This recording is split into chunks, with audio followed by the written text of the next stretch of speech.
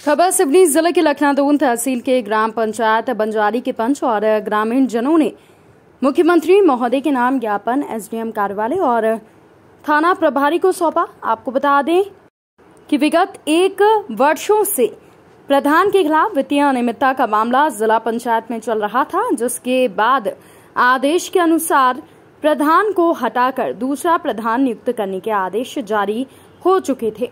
ग्राम पंचायत मज्जारी ने दूसरे प्रधान नियुक्त कर लिया था और जिला पंचायत में जनपद पंचायत को भेज दिया, लेकिन आज एक साल के लगभग कार्य पूरे रुके हुए हैं, जिससे ग्रामीण परेशान हैं और उन्हें ज्ञापन सौंपा है। अगर पंद्रह तारीख तक मांग पूरी नहीं हुई तो जल सत्याग्रह करने के लिए मजबूर होंगे।